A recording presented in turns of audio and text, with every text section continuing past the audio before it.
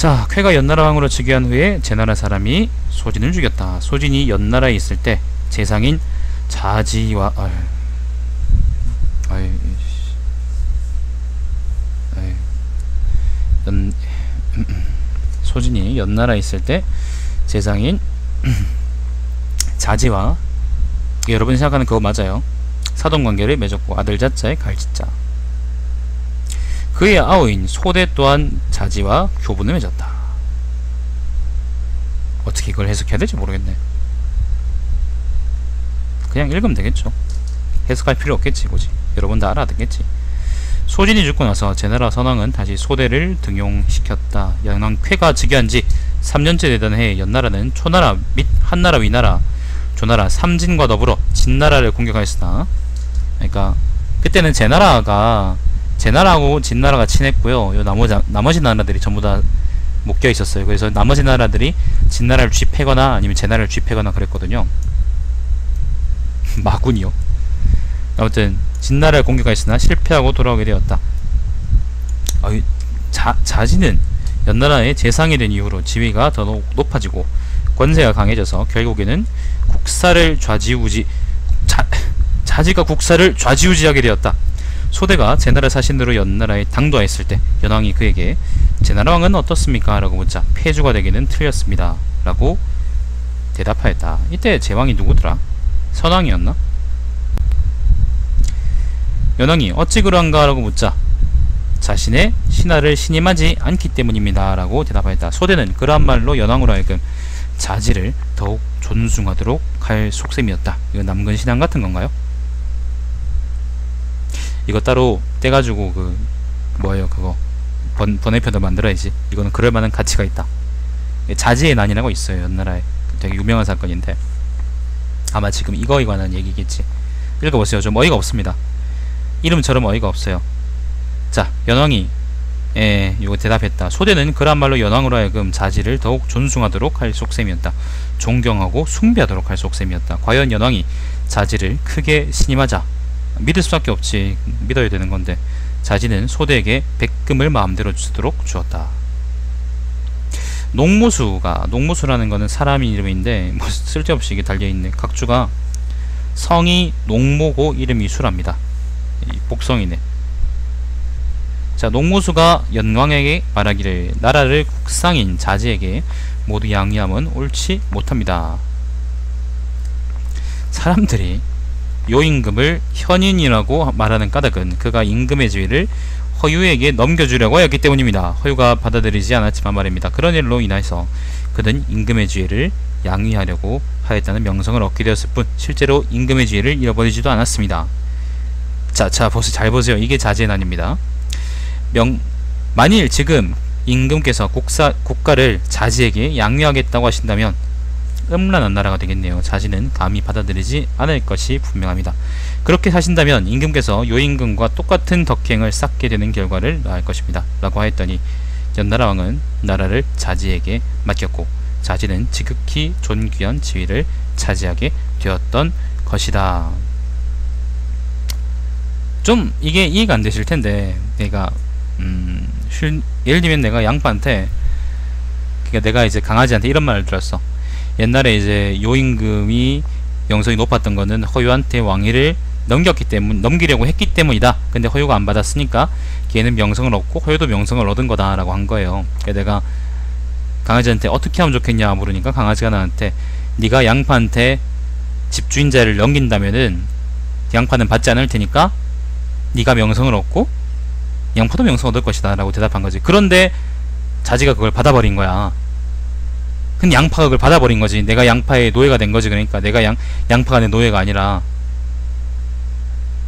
아무도 안 받을 거라고 생각했는데 받아버린 거라니까? 무시무시한 사건입니다 여러분. 남한테 이런 약속 함부로 하지 마세요. 자 어떤 이가 말하기를 우임금이 이글 후계자로 청구하였고 이어서 자신의 아들인 개와 친한 사람들을 관리로 임용하였다. 우임금은 자신이 노약해져서 정무를 돌보지 못할 입장이 되자 아들인 개가 천하를 맡을 만한 인물이 못되겠다고 여기고는 임금의 자리를 이에게 물려주었다. 얼마 되지 않아서 개가 자신의 무리들과 함께 힘을 합쳐 이글 공격하여 왕권을 탈취하였다.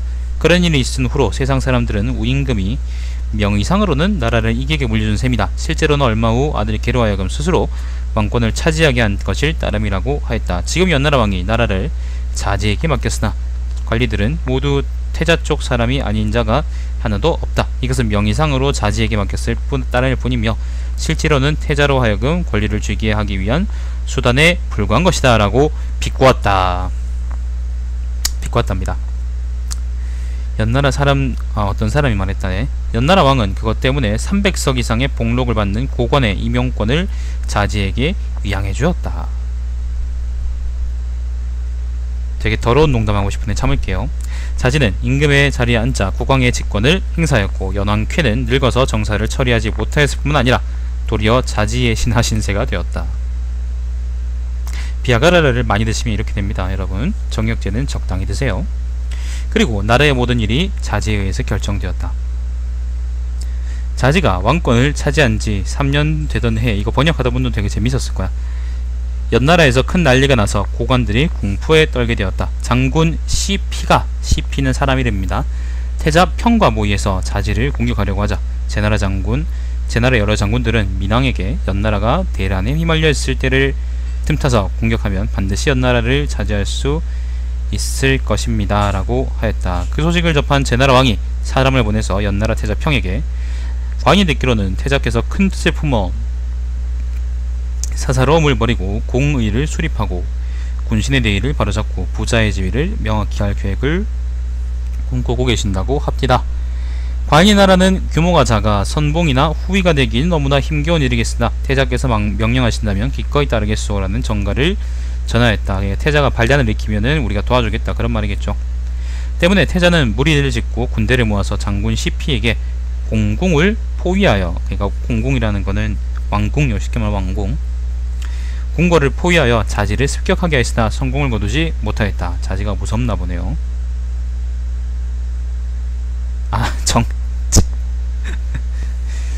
뭐라고?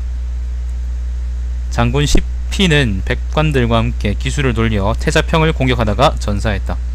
태자는 시피가 죽은 후에 그 시체를 무사람들이 보도록 거리에 내다 놓았다. 이리하여 수개월간에 걸친 동란으로 진짜 나라가 개판이었구나. 수만 명의 사람들이 죽었고 백관들은 어찌할 바를 모른 채 우왕좌왕을 따름이었다. 수만 마리의 정자가 죽었고 맹자가 제나라 왕에게 이 기회에 연나라를 정벌하는 것은 주나라 문왕과 무왕이 상나라를 정벌한 것과 같은 호기이니 이 기회를 놓치면 안 될 것입니다 라고 건의하자 맹자가 그런 말을 했다고요? 제나라 왕이 장자로 하여금 장자는 또 다른 사람 이름인데 제 나라의 대장인 장광이라는 사람이네요. 자, 장자에게 5도의 군사와 5도라는 것은 제나라가 설치한 1급 행정구역인데 임치, 평륙, 그 다음에 고당, 그 다음에 증묵, 거 요렇게 다섯 성이랍니다. 전부 다 산동에 있는 성입니다. 자, 5도의 군사와 북방의 군인들을 이끌고 가서 연나라를 공격하도록 명하였다. 연나라 군사들은 방어할 마음도 없었을 뿐만 아니라 성문도 닫지 않고 활짝 열어놓았고 마침 연나라 임금 쾌가 죽었으므로 제나라가 대승을 거두었다. 연나라의 국상 자지가 죽은 지 2년 뒤에 연나라 사람들은 태자평을 옹립하였으니 그가 바로 연나라의 소왕이다. 아, 이 사람이 소왕이구나. 이상한데? 내 기억하고 좀 다른 것 같은데?